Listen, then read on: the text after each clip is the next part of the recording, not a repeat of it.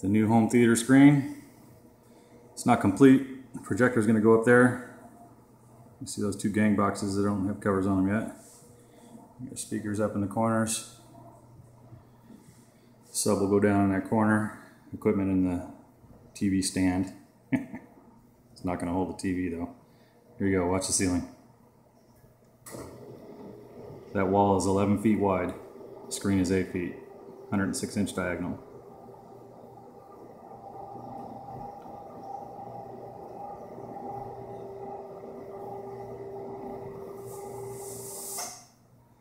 Overkill?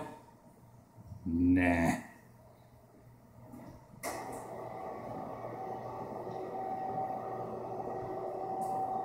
Got it for Monoprice. Uh, look for Monoprice uh, 106 inch. 120 wasn't going to work and still be able to put the speakers, so I had to abandon that. Take it easy, y'all.